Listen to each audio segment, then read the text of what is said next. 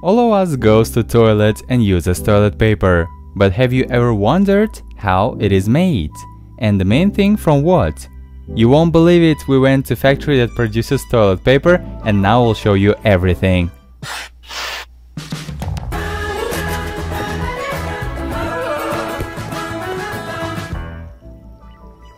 Everything starts from garbage.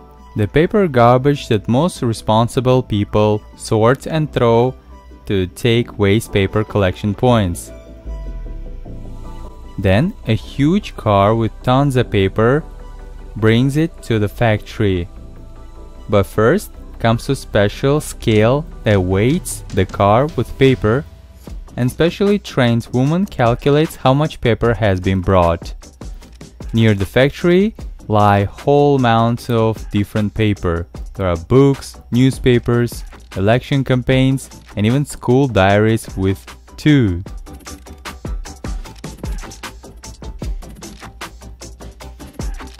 We went to fairly technological plants where the paper from the machine unloads such a fast and small tractor. Then another tractor puts this paper on the ribbon, on which it rises and under the control of workers is dumped into a huge barrel of water. Inside there is a special agitator which steered it to all state of liquid, let's say mashed potatoes from paper. Further, porridge of paper goes through several stages of cleaning in order to completely get rid of the all unnecessary objects and substances and get, let's say, clean product. After which the most interesting thing happens. Under pressure, the mass is squeezed through a narrow and long slot, forming a wet paper tape. And at the same time, perhaps by some vacuum method, most of the water is sucked out of the paper from the little sands. Everything moves so fast and paper in this case somehow goes not burst. Near the factory we found a lot of wood and wood waste. It turns out that this waste ignites the huge boiler which warms the water and resulting stream through the pipes directs into the huge drum. Our steel wet paper passing through this hot drum is heated according to that and output we get already full toilet paper. But we can't use it yet as it wrapped on huge rolls. It seems to me that in one such reel wrapped just miles of tons of paper.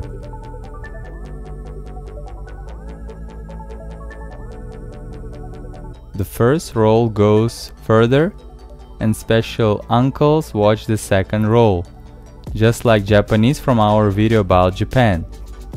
Since the roll is heavy and the workers don't want to carry it by hand, it's loaded on the platform with a crane and goes to two aunties who pack it in cellophane. Later the rolls are transported to another workshop and unwound to rewind them but already on reels with the usual size of a roll of a toilet paper. Another device in the meantime unwinds the label or wrapper of toilet paper, puts glue on it. The roll is released and rolling on the table cleverly winding on itself. A couple of seconds roll on special rolls, so that the label is sure to be well glued and released further on the conveyor. It rolls on numerous moving shelves and at the same time dry the adhesive on the labels. Next the rolls are collected in the wheel brown and placed in the cutting machine, which with the help of cutting disc cleverly cuts all the rolls into pieces and as a result, we get ready toilet paper, which is sent to packaging and after that on the shelves of stores. Now you know how important it is to dispose the toilet paper and now you understand how long your uh, school diary will go before returning to you in a new guise but already to performing very different functions. Write in the comments what else you're interested in and which plant to visit next time.